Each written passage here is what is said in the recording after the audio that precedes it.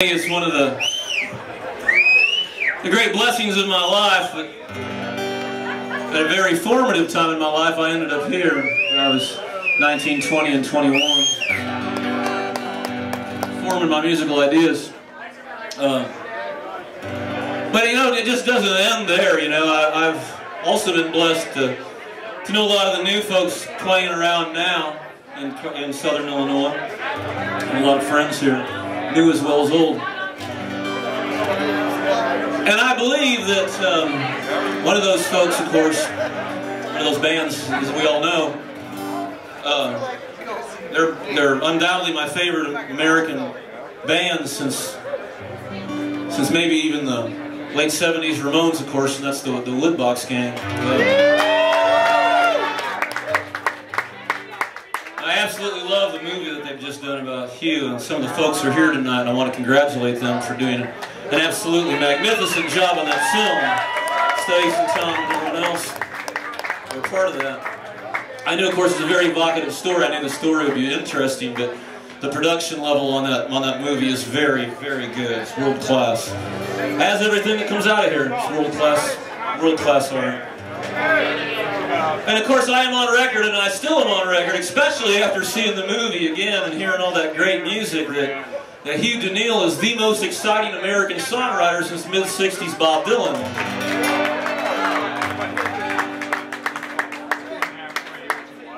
So if you may forgive me for... I can promise you I will not do as good a version of this as, this song as they did. This is not my favorite Woodbox Gang song or Hugh DeNeal song because I love all of them, honestly. Um, but this is the one that sort of I, I tend to gravitate to and I want to sing a Woodbox Gang song. It certainly probably is the most sympathetic song Hugh ever wrote. He was pretty tough on his characters, you know what I'm saying? Uh, pretty tough on himself as well. Uh, anyway, let me give this a try. This is called Almost Enough.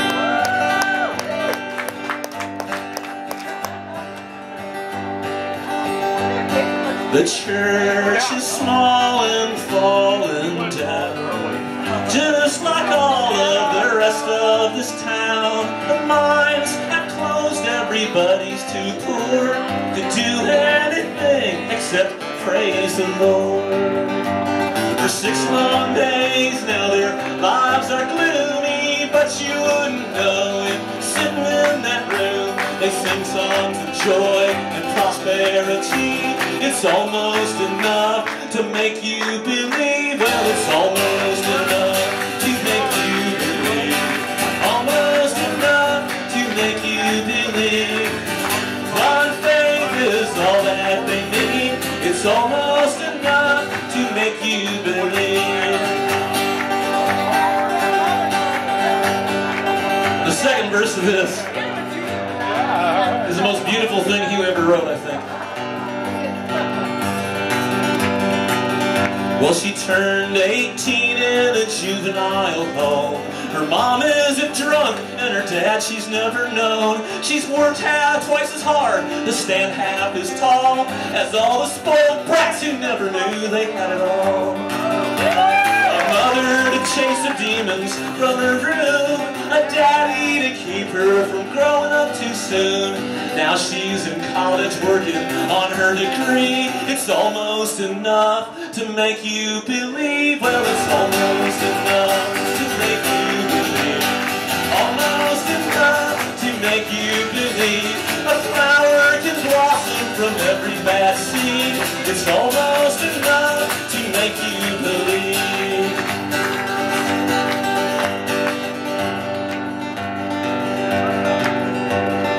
Every day more and more casualties.